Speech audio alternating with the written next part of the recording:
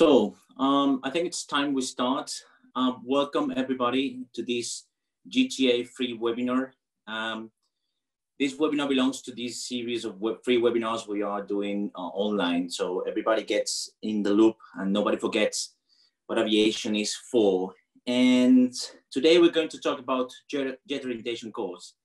Uh, it's part two.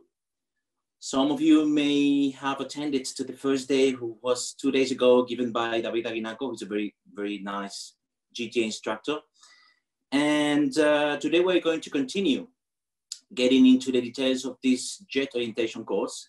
Um, as you may know, this is like um, soft introduction to the jet orientation course. If you decide to come to GTA or finally you perform your course in GTA, you'll get the full course. This is just a short briefing, like a short introduction of what the course is in, in reality. So let me introduce myself. My name is Francisco Espinosa. Some of you may know me already because some of you, you've been already in GTA. Uh, I've been GTA instructor for the last four years and a half and I had the chance to give instruction on ATR and A320. So it's, it's going to be a pleasure for me to show this uh, jet orientation course to all of you. And I hope you enjoy the presentation. If anytime you have a question, we have another colleague from GTA that are paying attention to the chat. But the main idea is to I go straight away for the presentation and I will not stop, I mean, at the middle of the presentation. So just complete the full presentation, okay? Uh, it will take to me around 50 minutes to one hour to complete the presentation. And at the end, we may have time to solve some questions that you may write on the chat regarding the presentation. So I'm going to share my screen uh, with you guys so you can see my um, presentation, the jet orientation course, part, part two. It's also, as you may know from Monday, it's of focused on the A320. So the minimum level required for this presentation to be understood or to take the most out of it is if you're a commercial pilot or IFR license. But this is not required at all. I mean, everybody can perform this course, so you can just start understanding what an Airbus is, or even if you're Airbus pilot, you can understand more and more things about the aircraft, the aircraft, because as you may know, this aircraft is very complex. It has very things on it. So we never stop learning on the Airbus. So that's why this course is focused for everybody who wants to attend to it. This is an introductory course to jet power aircraft based on the Airbus 320, and it is divided in five parts and nine sections. Okay, so keep in mind that on Monday we have the, the part one, Today we have the part two, but it's like a five parts course. And following parts will come in that week on the following day. So pay attention to the GTA social networks or to the email if you are subscribed to the email listing. So keep online, stay tuned because more course will come. Each part takes around 50 minutes. It doesn't mean it will be exactly 50 minutes and probably on the Airbus, as you may know, it will be more than 50 minutes. And but this is like the the idea okay? We'll be moving around those 50 minutes and that's all. So let's go into the index which is the most important part okay? Today we are on that part okay? Part two and today we'll be covering the aircraft general of the airbus 320 and also the auto flight system Okay, the auto flight system is very, very complex. It's a very big system. So today we're going just to see like the basics of it. We're going to cover basic aspects or the best, the theoretical knowledge on how to do it. Remember that this orientation course is not only composed by ground training, it also has four full flight simulator sessions. And in those sessions is where you will learn fly the aircraft, you learn how to manage the inertias of a jet aircraft and how to manage automation. Because Airbus is almost based in automation, as you may see in the following slides. So let's go get into it in the aircraft general. So we all know what an Airbus 320 is. We are, we've seen it many times in the airports. We've traveled inside of them. So we all know there's a twin engine subsonic medium range aircraft. And the A320 is one of the most advanced single aisle aircraft in service today with the fly-by-wire flight controls. These fly-by-wire flight controls is the thing that makes the aircraft that special because pilot-wise, when we fly the aircraft, has nothing to do with another conventional aircraft we've made flown before or in the flight school or in other companies' other models. So this fly-by-wire is almost unique from Airbus, and it's a very, very, very nice system that makes the aircraft easy to fly. It's very comfortable for the pilots. It's very comfortable for the passengers. So the aircraft itself, uh, we have three different plants type. Okay, we have the Pratt & Whitney for the A318 and then we have CFM International and IAE International aero engines. Those two types of engines are fitted to the rest of the family for the A319, A320, and A321. I don't have to remember to you that this is a common type rating. Once you get the Airbus type rating, you get all of them on your license. So now those small changes are based on the operator choice, um, depending on the engine that the company has chose for the aircraft or not. But the aircraft performance remains the same. The aircraft handling capabilities are almost the same, but the different engines are provided in order to give more flexibility to the companies or different type of uh, techniques or materials for the aircraft and for maintenance purposes.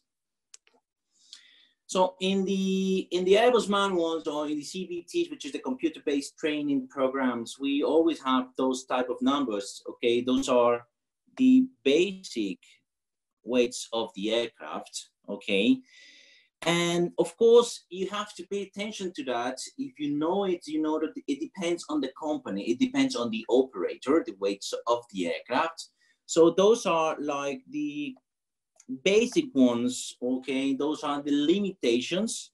All those numbers, you may find them on the FCOM of the aircraft, which is the flight crew operating manual of the aircraft inside of the limitations chapter. Okay, so if you're flying in a company, you may have to go to your FCOM, to the limitations part and check which are your specific weights for that day and for that aircraft because not all the aircraft do have the same weights and not all the fleets or all the companies use the same weights for the aircraft. And those drawings we have below are very visual. It's like the range of the aircraft. It's like 2,900 nautical miles.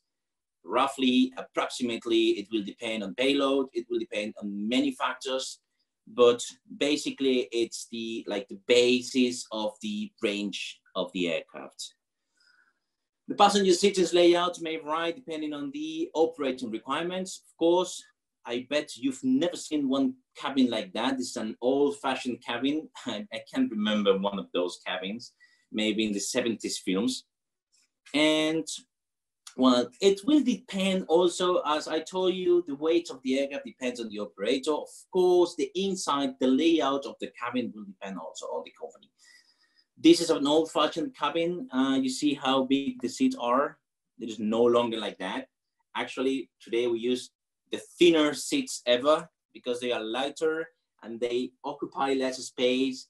And we try to put a lot more people on the aircraft, which is uh, the goal of the companies, the profits of the flight.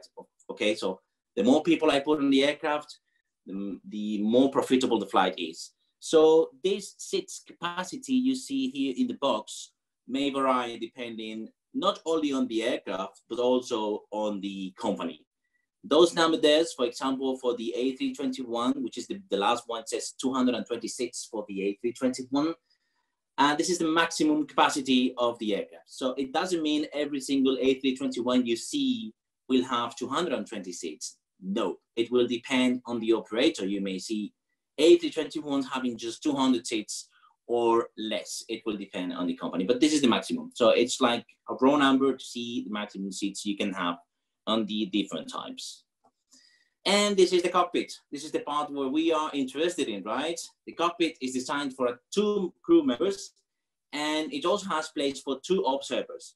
So it means uh, there are two pilots and it can have two jump seaters, which are the jump seats, the additional seats we have in the cockpit. And so there are four people in the cockpit. We all know the layout of the cockpit. It's basically the overhead panel on top.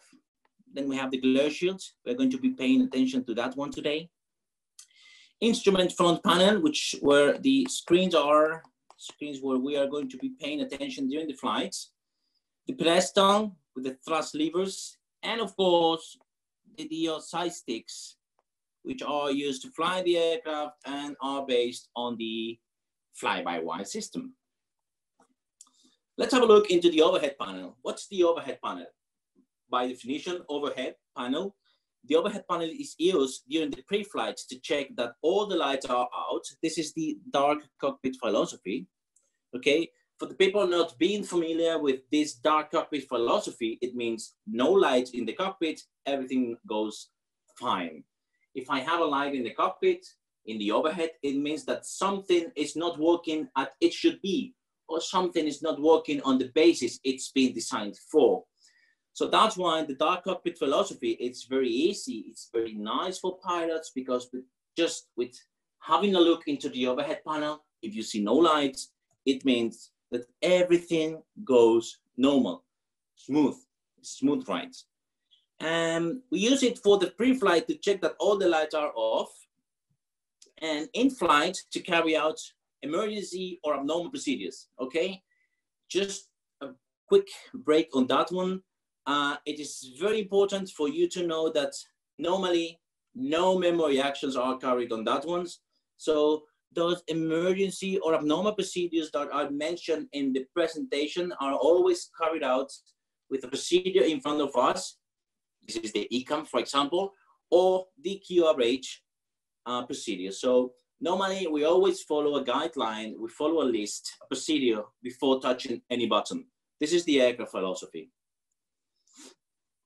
Then we have the glare shield. The glare shield is the panel we have just in front of us. If you sit it like a pilot and you just sit it normally, look forward, what you have is a glare shield.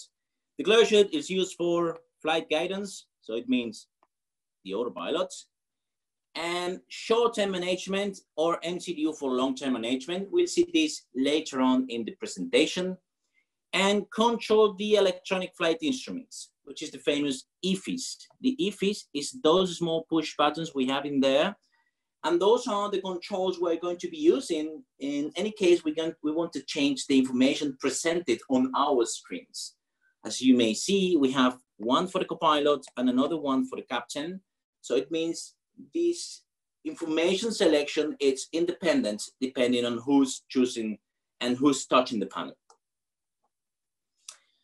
The instrument panel, which is the front panel, which is the panel where we are looking at the most part of the flight, it's where we have the screens, roughly. So the flight information through the electronic flight instruments, EFIS, and the integrated standby instrument system, the ISIS. This is the ISIS, okay?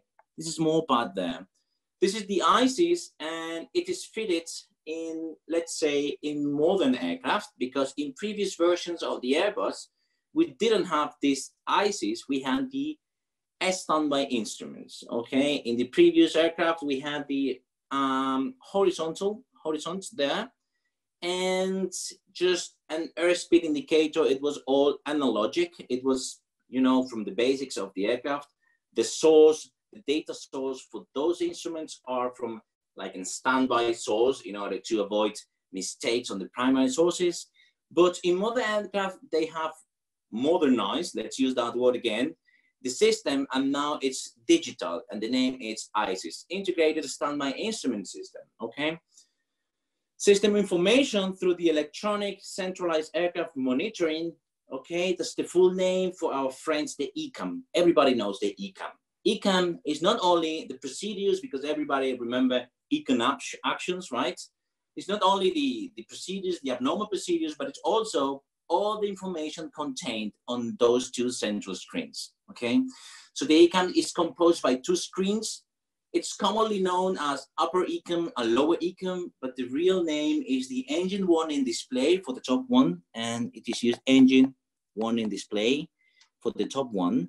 And the lower one, it's known as system display because it's the page where we're going to be able to see the system, the, the synoptics of the systems and use for that a small panel which is called ECAM control panel, which is just at the bottom of those two panels. And we can see it later on, no problem. Just a general idea, that's the ECAM, but everybody knows the ECAM for the abnormal procedures, but it's not only for that, is the page where we get the most information out of the aircraft in flight. So this is the pedestal, okay? The pedestal has many things, good. Uh, we start from the MCDUs. This name everybody knows, of course. And, but this is the acronym for the multipurpose control display unit. Good, MCDU. Everybody knows MCDUs. Then we have ECP, as I just told you in the previous slide, this is the ECAM control panel. This is a small panel that we use in order to get information out of the ECAM. For example, I can get the status of the pneumatic system just by pressing bleed. It's a bleed page. If I press bleed, the system will show me on the lower screen, remember system displaying, uh -huh. this will show me the bleed status, okay? Then we have the thrust levers, to set power on the aircraft and the radio panels. The radio panels are divided in two parts, right? You can have those two. Normally, I always to the I always go to the right part of it because it's my natural seat. I'm co-pilot, so I normally go to that part. So that's why. So it's divided in two parts. This is the RMP, which means radio management panel. And we also have then the ACP, ACP, which is the audio control panel. Good. We normally use the RMP to set frequencies on it, and we use the ACP to transmit on that frequencies. Okay.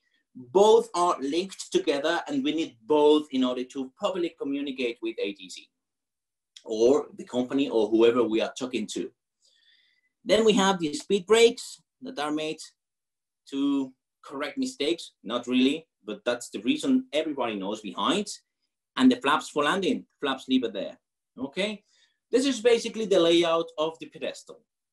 And those are our lovely side sticks, okay? Side stick is not composed only by the stick itself. It has three buttons. Um, it's not three buttons, but there are two buttons which has three functions, right? So we have the push to talk PB, which is the PTT, which is like um, the, the thing we use for the trigger, like in a gun, the trigger, the thing we use for communicating. And this red button we have there, it has two functions, those two functions. The autopilot disconnect push button and the priority push button. We can see them in detail later on, but I can advance you that depending on the intensity, not the intensity, sorry, but the time you press the button, you'll get one option or the other, okay? The priority or the autopilot disconnection. Those are the main dimensions and of the aircraft with and without charlets, charlotte, sorry. Um, this it's a very important number to know for the pilots. Why? Because if you're taxiing your aircraft and suddenly you see a mark on the ground that says maximum wingspan 30 meters, you know that you cannot get in with your A320.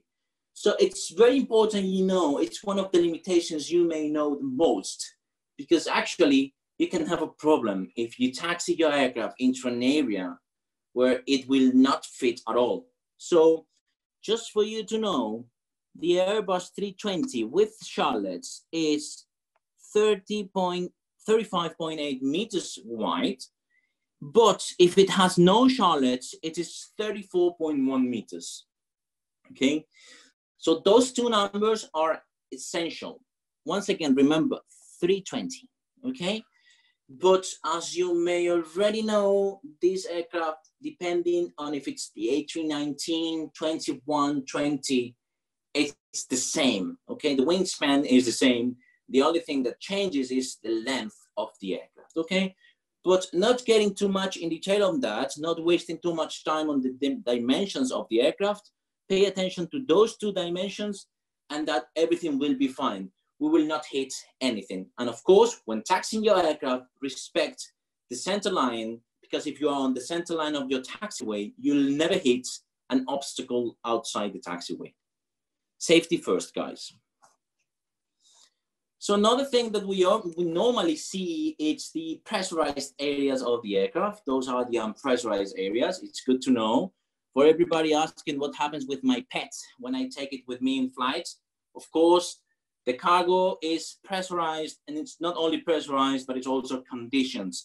And for you to know, maybe some people here is pilot and it's commonly flying the aircraft, you may know that when we have an animal, a pet in the aircraft, the pilots are informed of it and we, we take care of him. We take care of it. Of course, we, we, we pay attention to the temperature in the cargo and we try to, ride, to make the ride smooth like like for the people, right? But it's like when we have an animal in the cargo, it's like we are even even even more careful. The antennas of the aircraft is a very nice information to know. This is some information you get more and more in detail as you are um, getting deeper and deeper on the aircraft. So it's it's good to know the antennas we have, but it's not an essential information. Then what about the cargo? We just mentioned the cargo is pressurized. What happens with the cargo? How many cargo holds do we have on the aircraft? We have three. Let's say three cargos in the aircraft. There are two cargo compartments, big compartments, which is the aft and the forwards. And we also have the bulk, the bulkhead compartment, which is a separate small compartment for small packages or for small bags for example, in my company, we use it for the last minute passengers. Remember, this passenger that have changed the ticket last minute, he gets into the aircraft two minutes before departure, but the bag will not fit into the cockpit. So they take the bag down and they put it in bulk. It's like a quick access, um, quick access hold, let's say that, right? And the door, it's easy to open or to close. So well, it's nice information to know, but the it says the cargo compartment can accommodate standard AKH containers. AKH is just the cargo containers we've seen, those silver containers, silver color containers we've seen outside of the aircraft. And this is where they put all the baggages in. They put the baggages in and then they lift it up with a high loader and then they put the cargo inside. And then we have a small rolls into the, the small like wheels, small wheels in the, the in the floor of the cargo compartment, and they used to slide those AKHs to the end or to the position they should be. It's very important, guys, for you to understand that imagine this is the cargo, and imagine I can get three AKH inside, okay? But it doesn't necessarily mean that when I get one AKH, AKH inside, it goes straight to the bottom or to the end. No, it will depend on the load, on the mass and balance of the aircraft, on the CG, center of gravity. Maybe this AKH goes just in the middle. But as I told you, this is just uh, it will depend on each flight, the, the amount of payload, but don't think that the AKH goes straight away to the end or just at the beginning. It will depend on each different flight. Good. This was for the general introduction of the aircraft. This is like the basics. This is complementing the first day, the Monday's presentation by my colleague David. And now we are going to get into the auto-flight system. Auto-flight system, guys, when I have people on my type ratings, when we go to the sim, I always say that auto-flight is 90% of your type rating. Why? Because this aircraft is based on automation. And if it's based on automation means that I have to understand what the aircraft's doing and not only understanding the aircraft, but flying or managing the aircraft in such a way that it will lead me to a safe flight or it will take me to the place where I'm going to going to be. I mean, it's not permissible that the aircraft flies me. Let accept me that expression. You have to fly the aircraft. It's not the aircraft flying you. So in order to do so, you need to know understand and manage and master your autoflight system. So this auto-flight system or this management of the automation in the Airbus is one of the most important parts during any Airbus training. And this is where we waste, let's say waste, understand me, the most part of the time during the sessions. So for the people coming from conventional aircraft, understanding that, is, that this is a highly automated aircraft and we need to pay attention to the automation, okay? It is good, it is one of the golden rules. If things don't go as expected, take action. And many people think that this means to disconnect the autopilot. But disconnecting the autopilot, even if it's always an option, it's always good just not to reach that point. So if I understand what's my aircraft doing, if I understand what I want to do with the aircraft, I won't be needing to disconnect the autopilot. So let's go get into it. Um, we have the section five, which is the A320 autoflight system. For the autoflight system in the A320 family, computation and processing are done by two flight management guidance computers. So we start getting numbers, retaining figures in my, in my mind, and I have two FMGCs. You see, one and two at the bottom, two FMGCs. The two FMGCs are identical, and this is capital, and this is based on the Airbus philosophy. Those two FMGCs are identical and normally work together. We will group them as Flight Management and Guidance System, which stands for FMGS. So I have two FMGCs, identical and let's say co-working, working together, but the entire group they perform, I mean, the both FMGCs, it is called FMGS. And it is in charge of computation and processing. Good. Now we start thinking, okay, FMGS, what's that for? What's going on with that? Easy, sorry. FMGS receives information. Which kind of information? Navigation information, which I advance you, this is set by pilot. Sorry for the letter, but for the pilot talking through the MCDU. Then aircraft performance information. Once again, performance means, sorry again, weight or speed or cost index for fuel consumption or relationship between speed and consumption. Then we have the air data and inertial reference system, ADIRS, and the global positioning system for position and dynamic information. So now you get that the actually the FMGS or the FMGC is getting inputs from many things. It's getting the route, it's getting the performance, it's getting the from the GPS and the ADIRS, the air data information. So it means that it gets a lot of inputs. And then additionally, of course, the clock, which is always nice to know the time at which it is, and the radio navaids. But not only automatic, as I told you, we get the air data information for the ADIRS or for the um, GPS or for the clock, which is actually a satellite clock, it's an atomic clock. But as I told you, we gave information on the previous slide, those two initial parts, those two there, navigation information and aircraft performance information, are provided by the pilots. Then how do I talk to the aircraft? I use the MCDUs, multi-purpose control and display units, MCDUs. So through the MCDU, I'm telling to the FMGS, what do I want? Okay, I want to fly from A to B in that SID using that route and then using that star and this approach to that runway. And then additionally, we also use the performance pages in order to get the aircraft informed of my weight, my desired speed, my cruising level. Okay. So all these, we use it through the MCDU. And as you may see in the presentation, it's for long-term interventions, okay? So it's for uh, data or for numbers or actions I would perform long-term. For example, Imagine it's a 12 hour flight. So I tell the aircraft now that in 12 hours I'll be performing that standard arrival. So this that, that's why it's called long-term interventions. Those actions will last during the flight, even if we can change them. It doesn't mean that something I put on the MCDU is unchangeable, not at all. It means that are designed for long-term.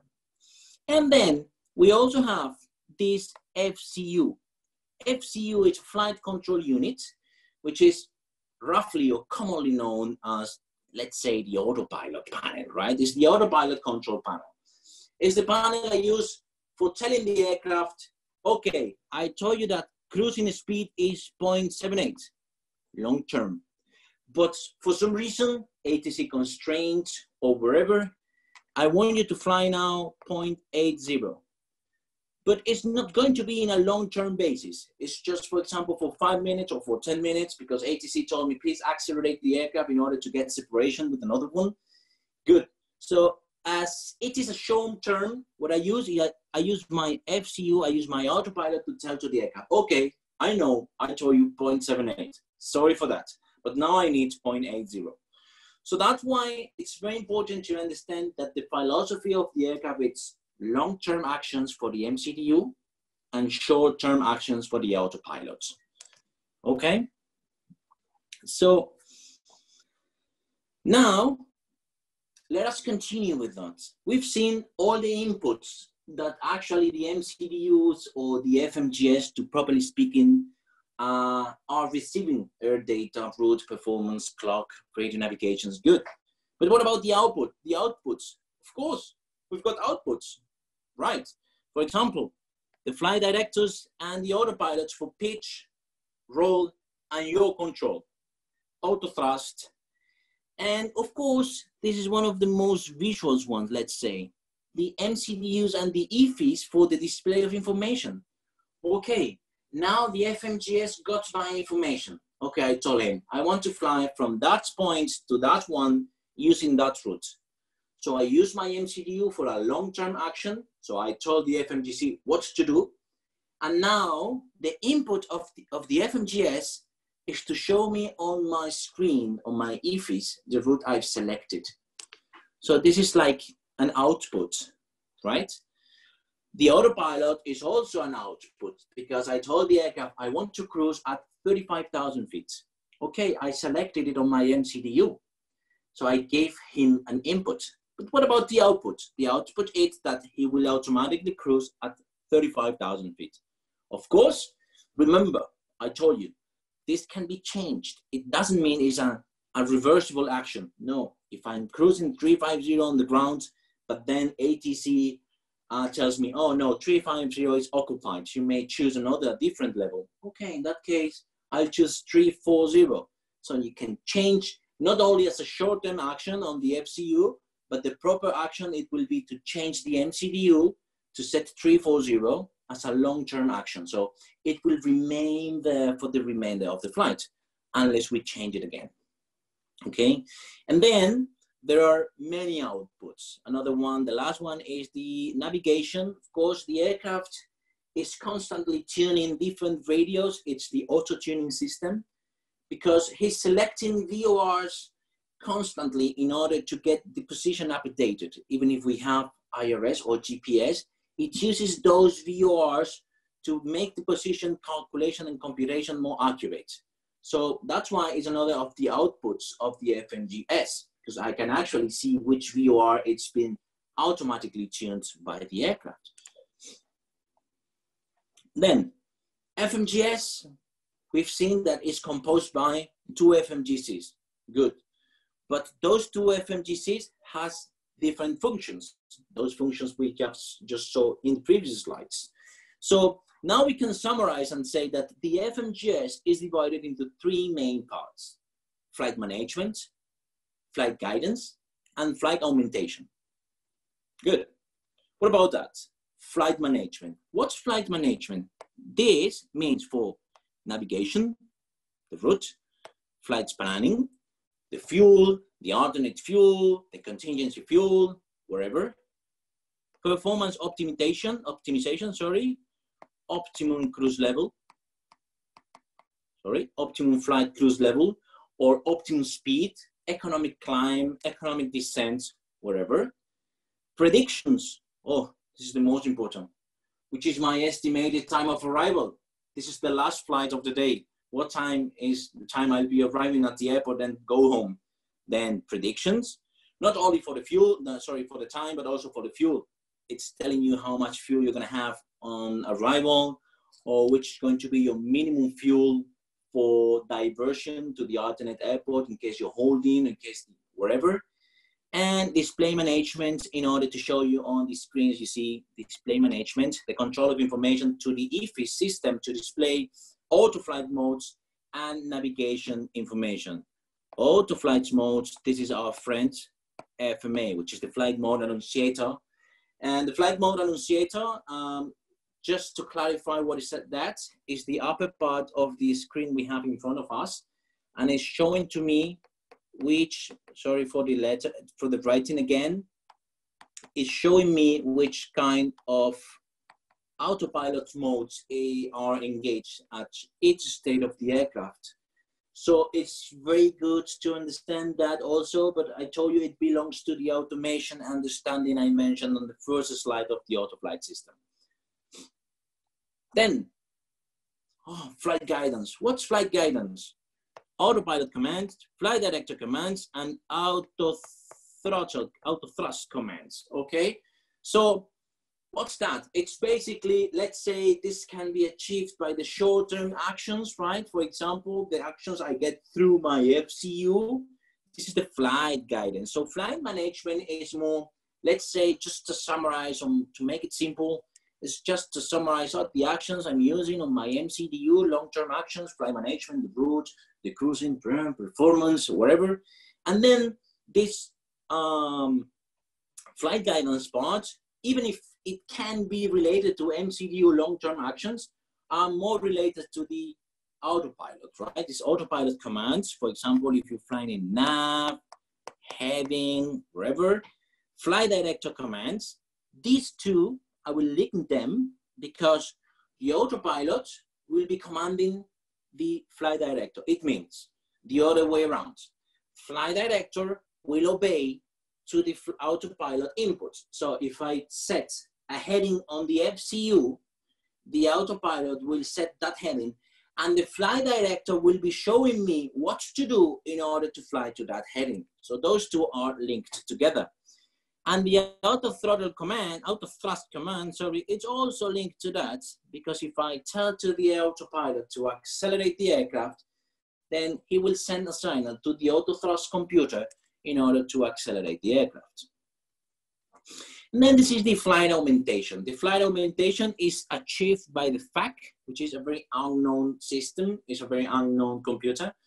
And, but we have two on the Airbus 320 and the flight augmentation computers is in charge of all of that. Flight envelope computation, maneuvering speed computation, for example, F speed, S speed, green dot speed, wherever. Wind shear detection, achieved by also the predictive wind shear system or the reactive wind shear system. And then the alpha floor protection. Alpha floor protection is one of the nicest things we have on the aircraft. Why?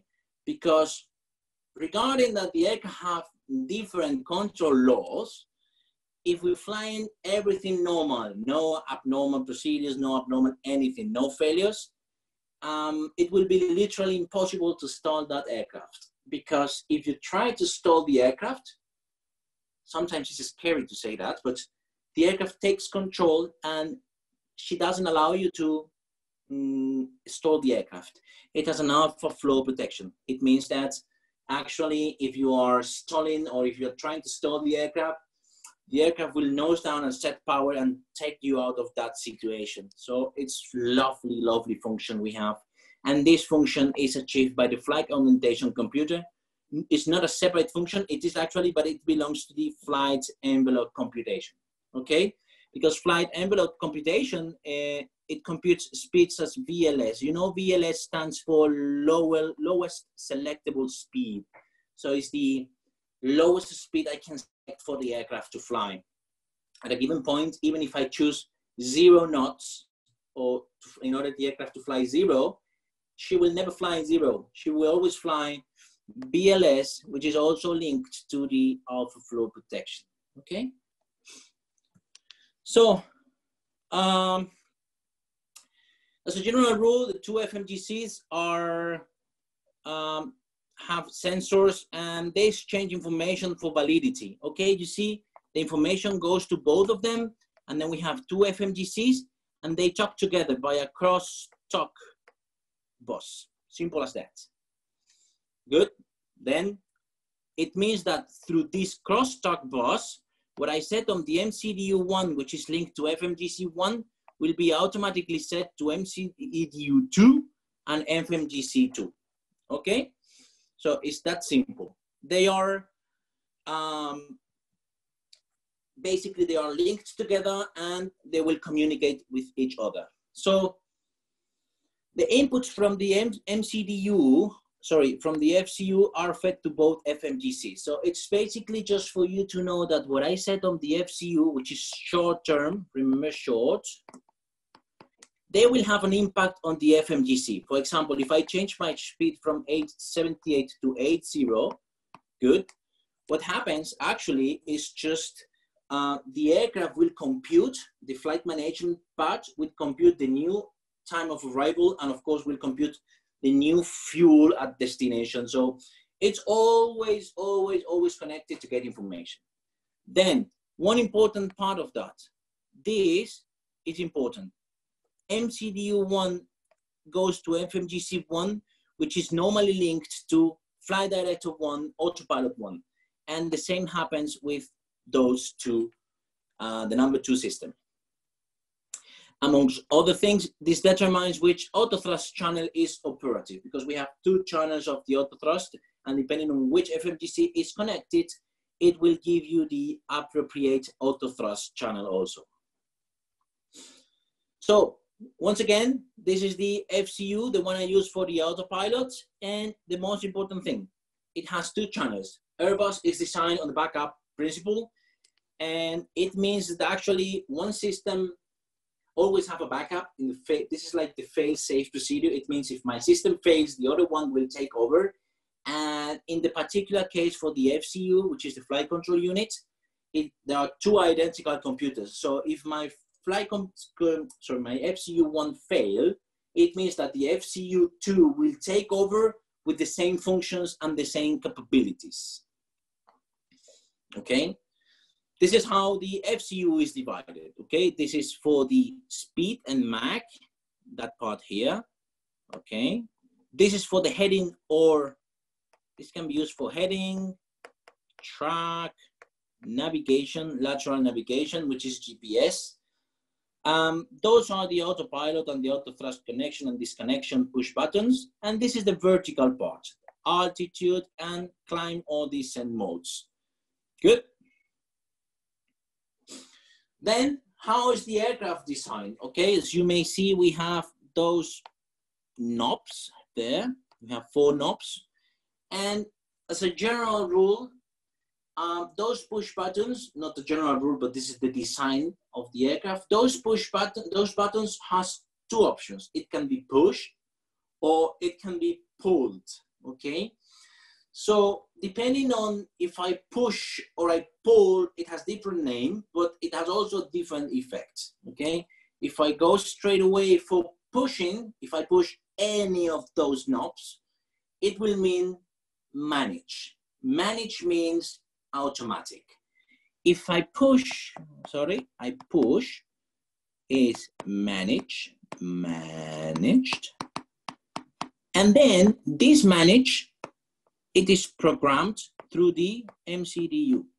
So for example, if I manage, if I press the speed, so the aircraft takes control of the speed, it will go to manage speed. To which speed? To the speed I selected on my MCDU, economic speed, long range cruise, wherever, but it goes straight away to the automatic.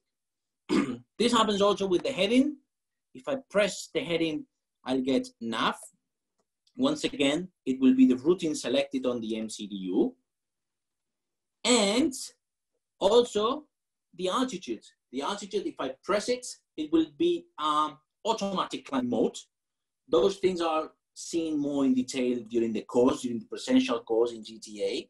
Okay, but if I press it, it will be managed, it will be automatic. If I pull it, it will be not automatic, not, not manual, but less automatic than that one, okay? You'll see that in detail during type ratings or jet orientation courses. But basically, the idea is if I push, it goes automatic to the MCDU. But if I pull, pull, I take it to me. That's the general rule, right? If I pull, it's like I take control. It goes to me. I have control of it. So if I pull the speed, for example, I be able to select any number. And this is not a long-term action. This is not based on the MCDU. This is a short-term action based on my decision. I decide not to fly economic speed. I decide to fly 300 knots, like on the example. So for that, I have to pull and then select the number I want. And then you get turn and pull, wherever it is, basically pulling to get control. And it is selected guidance. Selected guidance on the aircraft is associated with blue colors. So if I pull 300 knots, it will be 300 knots. And this triangle there will be blue because it's selected by the pilot. Otherwise, if it's automatic, if I press it, it will relate it to magenta colors, okay? This is more the layout of it. The bird, this is something you'll see in detail during the course, okay? And then the vertical area, we've seen the lateral part, which is divided in two parts for the speed and for the lateral navigation. And then we also have the vertical part divided in two parts. The altitude, which is the altitude I'll be flying, cruising, or wherever. And also this vertical speed flight path angle, which is actually in order to descend. This manual mode, there's no manage mode on that one, okay? There's no manage. If I push, if you see push to level off, it means if I push the button, the aircraft will just level off, will go to vertical speed zero. So this the only knob which has no manage mode, okay? If I press it, it will push to level off and that's all. So in order to get a vertical speed or a flight path angle, which is related to the bird, okay? This flight angle is related to the bird. As I told you, this is something you'll see more in detail because it's not easy to explain and it's something you have to see um, if I pull to set a vertical speed, I'll be able to set wherever vertical speed is. For example, minus 1500, and it's also in feet per minute, okay? This vertical mode is very dangerous because it has top priority on the aircraft. So the aircraft will fly minus 1500 feet per minute regardless of the speed, regardless of the configuration of the aircraft. So it's very dangerous to use this vertical speed setting, has to be used with caution because it has top priority. Then the LOC push button, which is used to track localizers, good. And then the approach push button. The difference between the LOC and the approach push button, this will be LOC only, LOC only. And this will be LOC and glide slope, okay? So in order to fly an ILS, we need to press that one.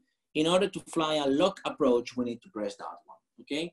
This button is not only used for ILSs, but it's also used for non-precision approaches flown on the principle of final APP.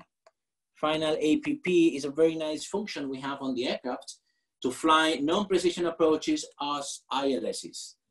This is to be seen more in detail during the course. Then we have the autopilot one and autopilot two push buttons. As I told you, as a general rule, we connect the autopilot of the pilot who's flying. If co-pilot is flying, we go for autopilot two.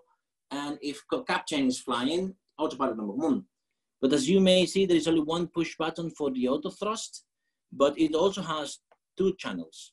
But it's only one push button.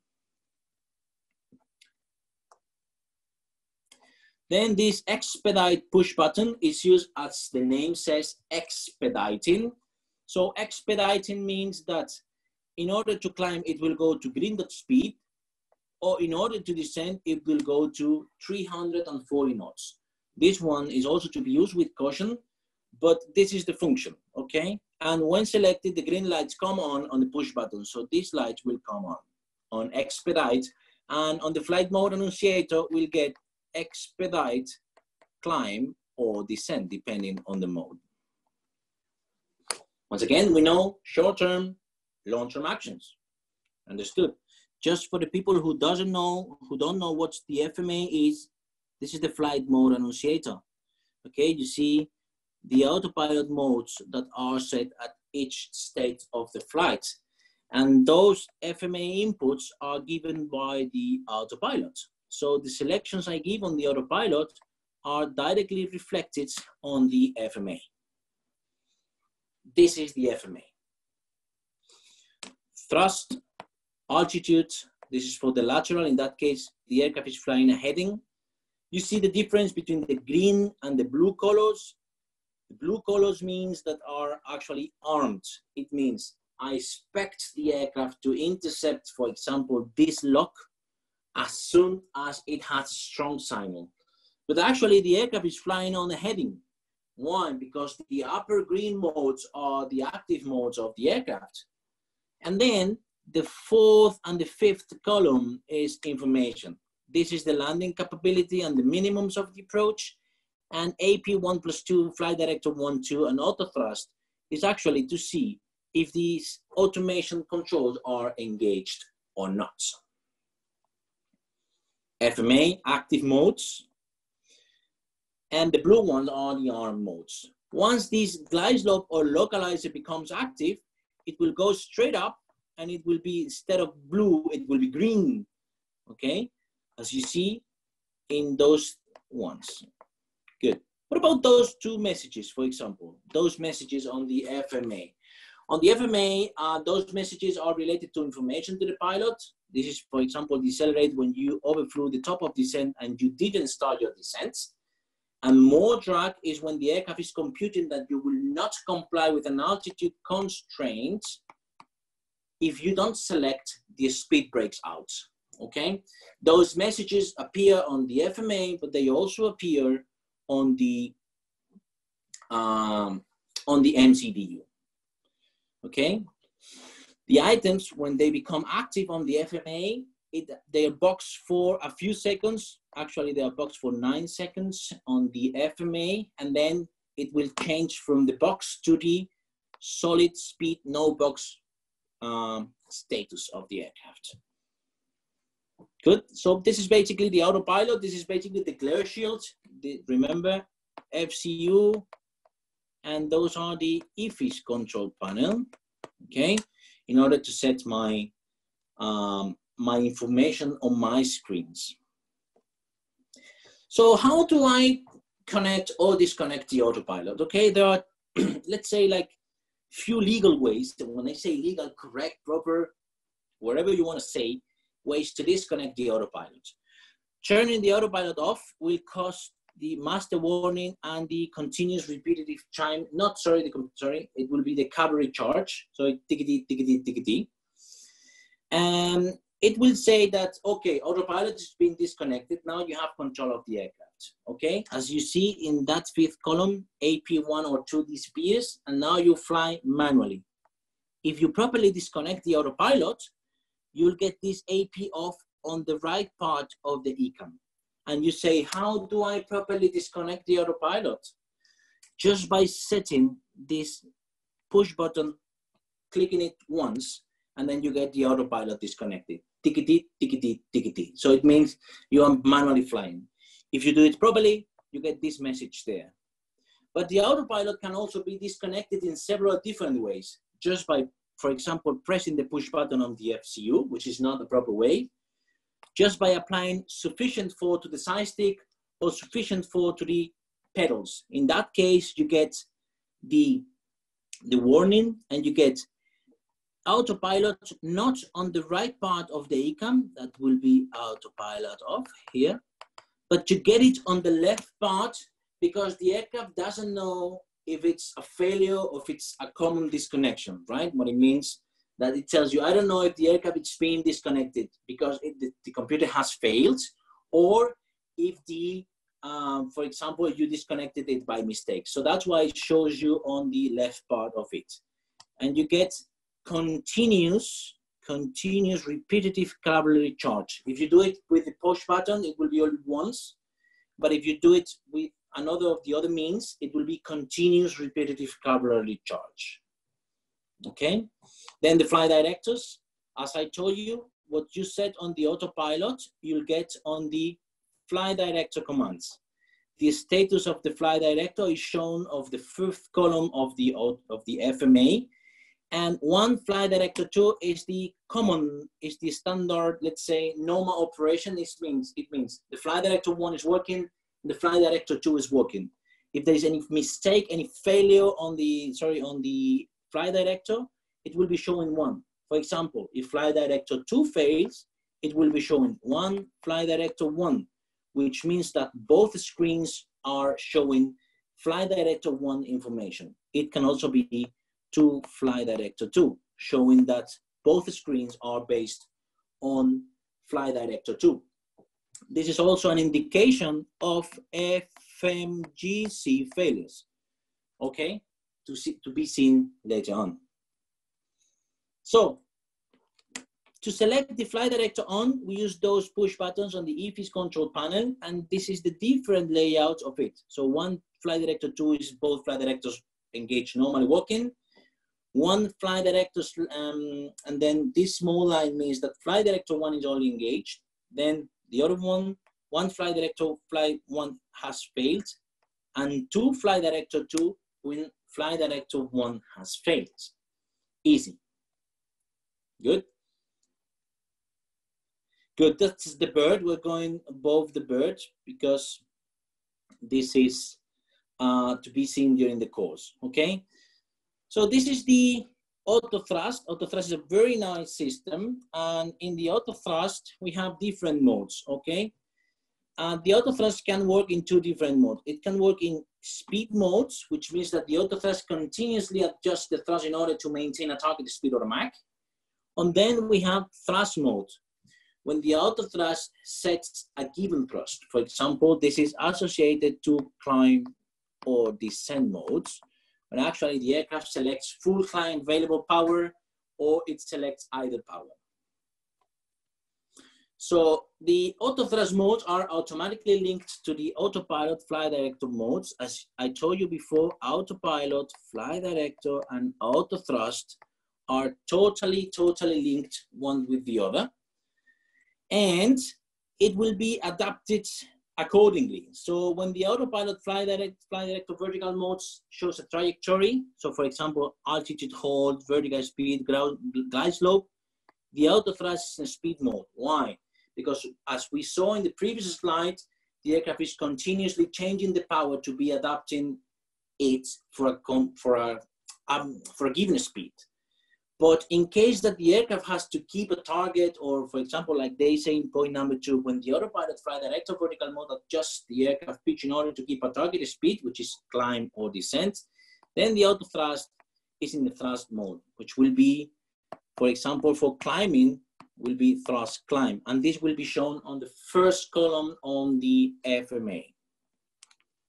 Okay, those are the thrust levers.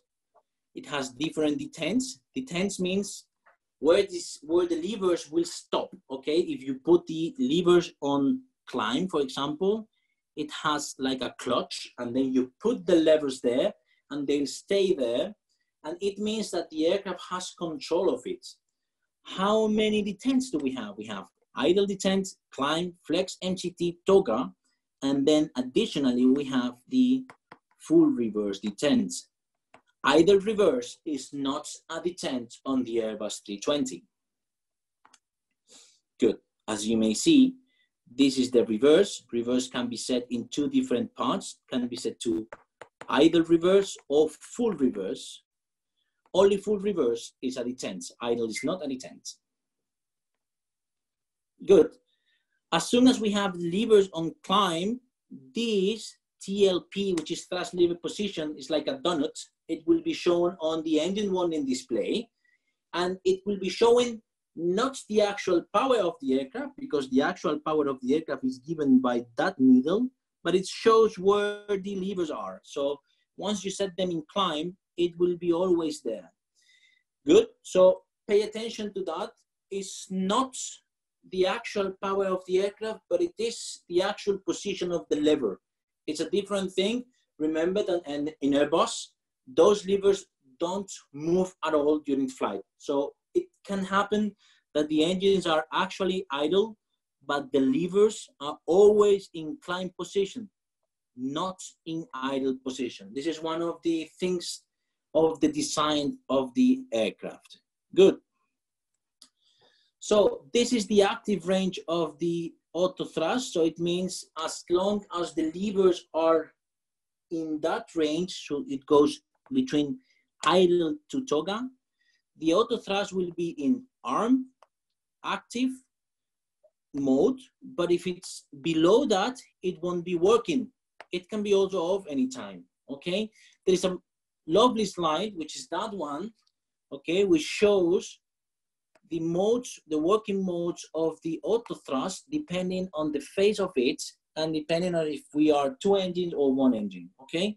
So for example, the red part, the left part means that auto thrust will be active, one engine out between idle and MCT detent. But for example, if you're working two engines, this auto thrust will be working only between idle and climb. So it means if you go to flex MCT, it can be armed or not active. Let's say manual thrust. So this is a very nice picture we have on that presentation regarding when and where is the auto thrust active. Good. In order to disconnect the auto thrust, as we've seen for the autopilot, we have different ways to disconnect the auto thrust we have like, let's say again, two legal or two proper ways and one bad way. The proper ways are by depressing those small red buttons we have on the thrust levers. And before doing that, it is essential to match the TLP, which is the thrust lever position, with the actual setting of thrust of the aircraft. Why? Because if I disconnect my auto thrust with my TLP in a different position, once the auto thrust is disconnected, he says, okay, I give you control, manual control of the auto thrust. Then I'll match the actual thrust of the engine with the TLP, and then the aircraft will accelerate. So in order to avoid for that, we just match TLP with the actual thrust of the aircraft, and then we disconnect the auto thrust just by pressing one of those, one of those two disconnection push buttons. We can also disconnect the auto thrust by setting the push button to off, but actually it will be an illegal way. And as per the autopilot, sorry, as per the autopilot, you'll get this warning instead of getting it on the right part, which will be the legal one, you'll get here as a failure because the aircraft says, okay, I don't know if this has failed because a failure of the aircraft or why, but all I can tell you is that I have no more auto thrust. So that's why. So the legal way to disconnect, it will be just by pressing the instinctive disconnection push buttons on the thrust levers. But also, we also use to go idle. If you take the levers back to idle, it will disconnect. This is the most common disconnection uh, of the auto thrust in the Airbus because it's the one we use for flaring the aircraft. So we use the auto thrust down to the runway and just flaring the aircraft. We idle it we go to idle and then auto thrust disconnects automatically. Good, this is the position computation. Those things are to be seen more in detail during the course. Okay, this is how the aircraft computes the position. Remember I told you about GPSs and uh, IRS position and so on. And of course, auto tuning of the nav aids. This is always used to position the aircraft properly in the position where it is avoiding position mistakes, thus having navigation errors, which are very bad to have. Okay, it computes the position. This is to be seen more in detail during the Airbus course. Okay, good. Let's go to the flight guidance. Again, autopilot, flight director, auto thrust are all integrated in the flight guidance. Remember, one of the three parts belonging to the flight management guidance system. They operate in various modes so as to guide the aircraft to associated targets such as speed, heading, glide slope, FMS lateral flight plan. So once again, that's what I told you. Those are the parts that you are going to be mastering during your type rating or jet orientation course at GTA because it's 90% of the flight. To understand the FMA, and to understand what to do on the flight control flight control unit FCU in order to get the aircraft where I want to fly. So once again, remember we've seen that this is thrust climb related to auto thrust. This is climb, which is a vertical mode, navigation for lateral modes. So in that case, as you can imagine, lateral and vertical part of the flight uh, guidance thing is belongs to the same part. So it works all together to take my airplane where I want to be. So you see the climb is for climbing and nav is for navigating. It's self-explanatory. So I use climb for the vertical part, things I've set on my MCDU as long-term basis. Then once again, we have the different modes for climb or descending. You see these blue or magenta arrows here. This represents if it's managed or selected guidance. As you can see on the vertical speed, there is only one blue arrow, meaning that there is no managed mode like we discussed before. And of course, in the altitude, we have open climb or managed climb. So if I press and I push it, it will be what they say in the point number two, which is climb or descent manage mode. This is based on, um, let's say on MCDU, let's say if I've selected um, the economic climb or economic descent, the aircraft will adjust the speed at the flight's path in order to follow this economic speed. So in that case, the auto thrust will remain in THR mode. So it means that it will be always climbing or descending with maximum or minimum power available for climb. And then we also have the open climb and open descent, which is achieved just by pulling the altitude knob. The only thing that open climb and open descent mode has is a very bad thing. If we have constraints in the route, it means altitude to complain. Don't cross that point more than 1500, sorry, flight level 150 this restriction will be complied by the aircraft automatically only if flying in climb descent manage modes. If for some reason I decide to do it um, manually or uh, like we have into those brackets, we are not flying in managed lateral mode. It means not nav but heading. I won't be able to set it manage. So I will be using open.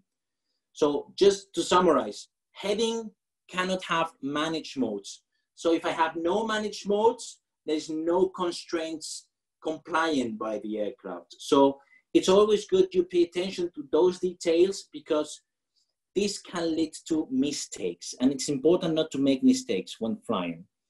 You see, this is open climb on the FMA. Okay, let's go for it. And of course, we have these magenta things. These magenta things are the constraints. So in that case, you see it's on the right image, we have 6,000 feet magenta. So it means it's clearly showing that actually it says climb in green and trans climb. So it means we are climbing in manage, manage, because it's not open climb, it's just climb.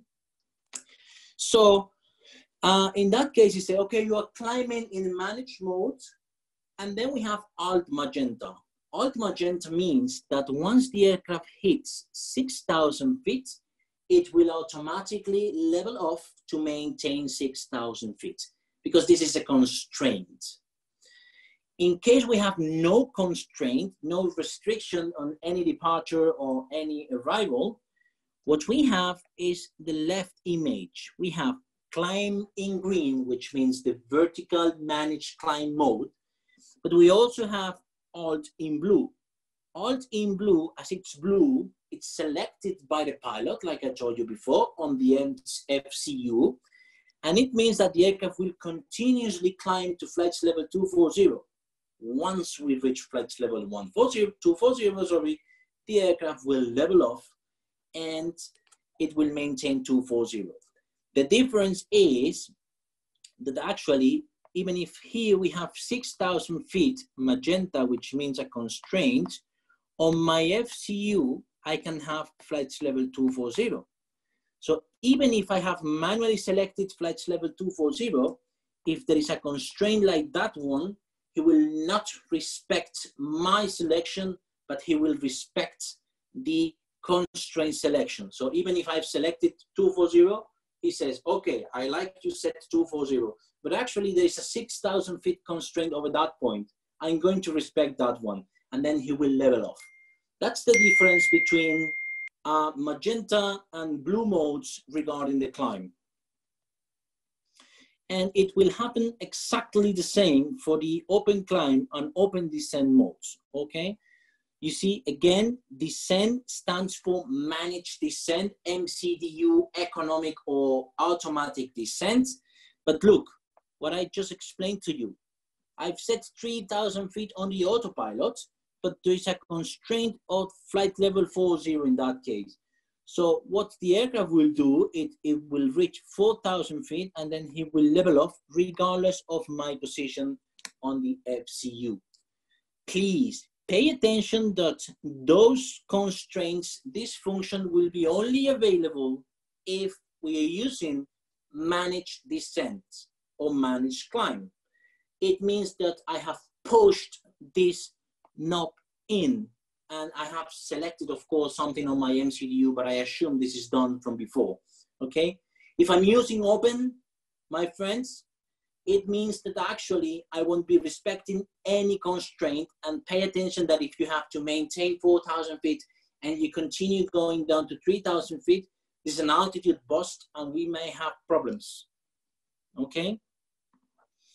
But this climb and descent manage modes are very nice to know that they respect the constraints, but it's only linked to nav mode. Of course, if the aircraft is flying on the heading, he's not able to know which constraints to follow. So if for some reason you fly in headings, ATC give you a radar vector, you won't be able to get manage climb or manage descent. So in that case, you'll be using, there's an actual reversion of the autopilot that goes to heading and vertical speed, which are the basic modes of the autopilot. After this reversion, we'll get a triple click in the cockpit, click, click, click, saying that actually something has changed on my FMA and we have to change um, or we have to check, sorry, the selection of the autopilot, okay? Alt cruise is an altitude, it's a vertical mode that is when we reach our cruise level set on the MCDU. Once we hit that cruise level, it will change to alt cruise. It means that all the predictions for timing and fuel are based on cruising speed. This is essential because in case we have selected a different flight level here, instead of getting alt cruise, I'll be getting alt. And alt means that the aircraft is constantly waiting to climb and the computations for time and fuel will not be the same because the power setting and the engines will be different also. And now we're just going to see just an overview of the failures we have with the autopilot. For example, FCU 1 and 2 fault, which actually, this is the two channels of the autopilot. Good, it says that actually I won't be able to select anything on my autopilot. Why? Because all this will be inoperative. So all FCU controls are inoperative. And look at the second point. Auto thrust, both autopilots, both flight directors are not available except in land or go around mode where only the auto thrust is lost. This is a protection of the aircraft because as you may see, landing and go around are two critical phases. Good? So pay attention that in case we have FCU2 faults, not only we've lost the selections of the autopilot, but as we've lost, as you can see, the EFIS control panel, we also lost the QNH selection and all the references, all the aircraft, as you can see in the blue line, it says PFD, so primary flight display, which is the screen I have just in front of me, are related to standard only. So pay attention to low QNHs. Remember from high to low, look at below for the real altitude. So pay attention to the altitudes if you fly in low QNHs because all the references, all the altitudes you'll have on your PFD will be related to uh, standard only, 1013. Then what happens with the FAC? Remember, flight augmentation computer, the one in charge of the flight envelope, speed computations, characteristic speed computation, wind shear, and so on. So depending on when the failure occurs, the rudder travel limiter system may not be in the correct position for the flight speed. So therefore, to prevent damage to the aircraft structure, they use the rudder with care when the speed is above 160. Remember that if you deflect a flight surface excessively at a high speed, you may damage the surface and it can be lead to fatal consequences. At the slats extension, full rudder travel authority is recovered. Of course, we are low speed in that case. And then with FAC 1 and 2 in operative, the rudder travel system, rudder trim control, yaw damper, and primary flight display characteristic speeds are lost. Remember that all the maneuvering speed characteristic speeds, which are flaps, slats tension, and green dot speeds, those speeds are lost because the aircraft is unable to calculate the envelope. Remember that um, the fly augmentation computer is designed to compute the uh, envelope of the aircraft. Okay, so in the status page reminds you to use flap 3 for configuration for landing and apply the landing distance procedure on the QRH. Remember I told you at the beginning, we don't do any procedure by memory. There's only eight memory items on the Airbus. The rest of procedures are done according to an electronic checklist on the ECAM or paper checklist on the QRH. Then this is a note, very important, it's an extent, it's an advanced knowledge of the aircraft, but when extending the landing gear, you will revert from alternate to direct law.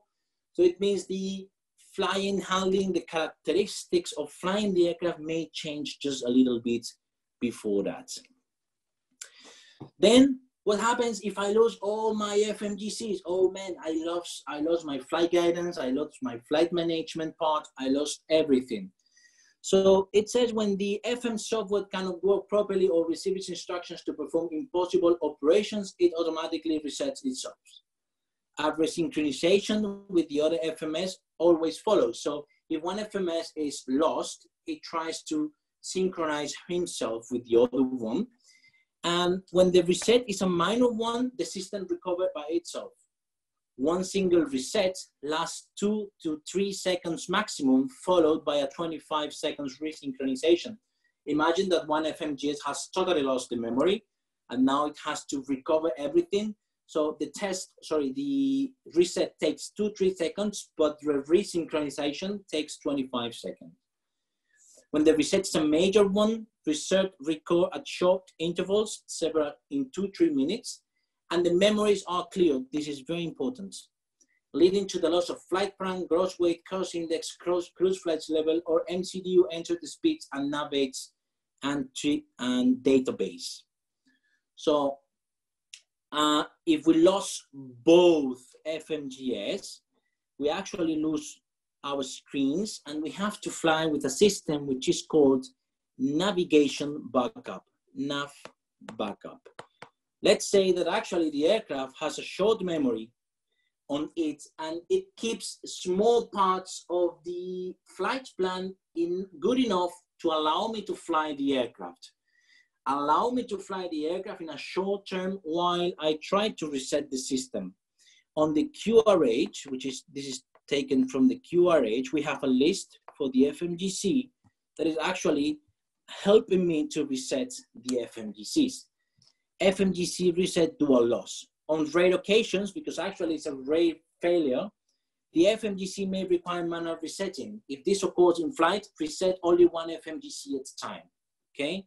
If I only lost one FMGC, try to keep the other one so we can fly the aircraft. If we've lost both FMGCs, we have to try to recover at least one. But during this time, remember, I have this nav backup function. Okay. It says that in the QRH, it is available at computer reset for both in flight or in ground because can this can happen to you on the ground, but it can also happen to you in flight. Good. This is the yaw damper system failure. okay?